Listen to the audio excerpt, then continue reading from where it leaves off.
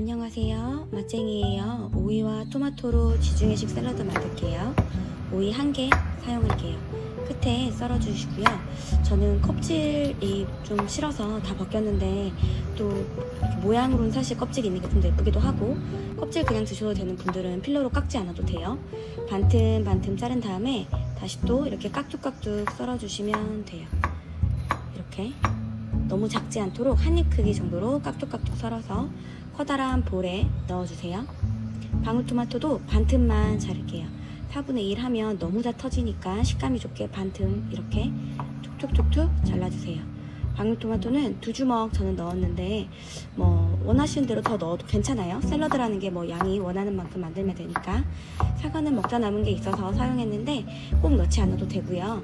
사과도 저는 두 주먹 깍둑깍둑 썰어서 넣었어요. 큰 볼에 이렇게 넣어놓으면 됩니다.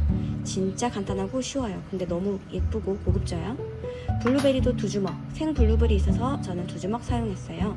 양은 상관없어요. 먹고 싶은 만큼 그리고 내가 좋아하는 과일이나 야채 있으면 더 넣어도 괜찮아요. 이게 그 지중해식 샐러드라는 건데 세계적으로 다이어트 1위래요. 저도 어디서 봤는데 만들어서 먹어서 많이들 날씬해지자고요. 여름이니까. 자, 올리브 오일 6바퀴 돌렸어요.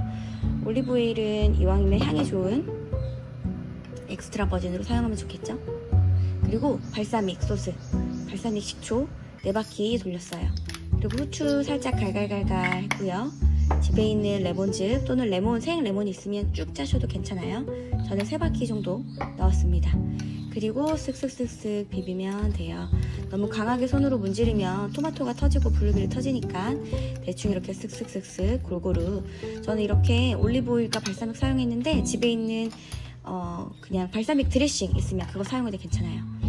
그릇에 담을 때는 색감 보면서 하나로만 너무 담아지지 않고 골고루 골고루 잘 되도록 이렇게 담아주면 이렇게 조금 더 예쁜 느낌 여름에 먹기 진짜 딱 좋아요.